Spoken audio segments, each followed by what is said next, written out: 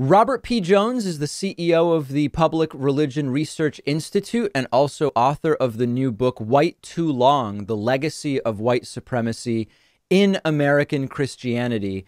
Uh, Robert, thanks for your time. Really appreciate it. Oh, thanks. Yeah, I'm great. I'm really glad to be here. So let's uh, just just just to get us into this topic. Can you talk a little bit about? I mean, how how far back does the um, uh, interplay or overlap between white supremacy and American Christianity go, and is it specific to certain denominations?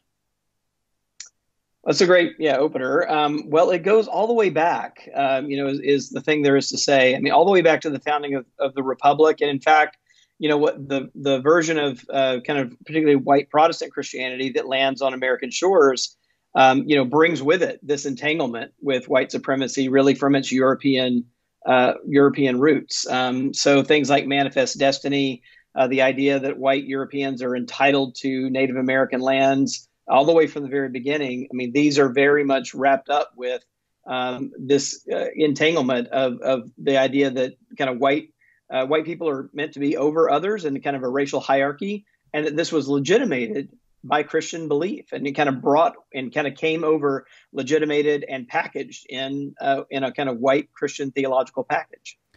Uh, when we look at the um, the Northern Baptist Southern Baptist split, which is something that has been written about from a number of different angles o- over the years, um, how much was that split related to this issue of white supremacy?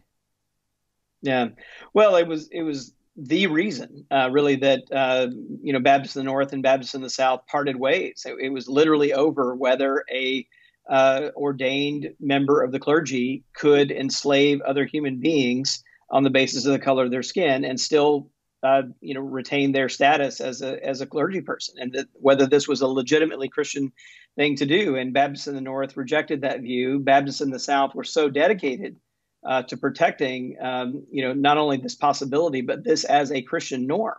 Uh, that they literally split from their northern brethren, set up their own, um, you know, convention called the Southern Baptist Convention. That's where that name comes from uh, in 1845. So this is well before um, even the Civil War. Um, uh, this is my home denomination, I should say, and that I, I grew up in, uh, in, as a Southern Baptist in Mississippi.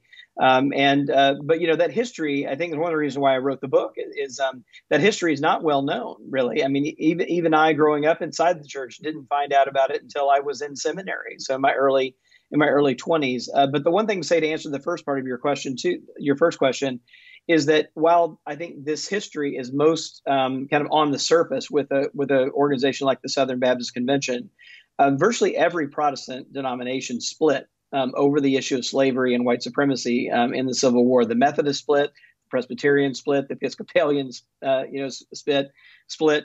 Um, and it was all really over this question um, of the legitimacy of, of, of, slavery, and then underneath that, the kind of you know bigger thing that um, that justifies that this idea um, of white of white supremacy.